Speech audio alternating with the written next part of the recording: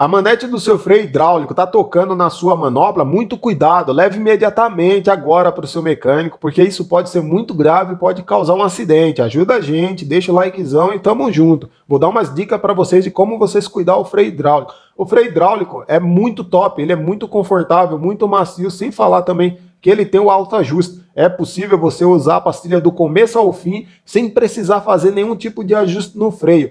E o mais top, a manete não altera a altura, porque ele tem um alto ajuste em relação ao mecânico, quando ele vai desajustando, a manete vai ficando baixo. Mas se caso o seu freio ali está com a bike parada, você deu a primeira apertada do dia e a sua manete tocou na manopla, muito cuidado, isso aí pode ser três problemas, falta de manutenção, falta de óleo ou freio paralelo, que são esses freios linha de entrada aí, infelizmente, isso está sendo comum nesses freios. Se caso o seu freio for linha de entrada, isso é normal, então sempre que você for apertar o freio, você precisa que dar uma bombeada antes de acionar o freio. No caso dos freios mais respeitados, eles não é para ter alteração na manete. Se caso acontecer quando a bike estiver parada, a grande probabilidade, que é como eu falei, pode ser óleo sujo dentro do fluido ou pode ser falta de óleo. Para resolver isso, uma sangria se resolve. Agora, aconteceu isso numa descidona, a probabilidade que você desceu esse morro sem dar intervalo no seu freio, você foi freando do começo ao fim, o freio sobreaqueceu tanto que ele terminou ficando borrachudo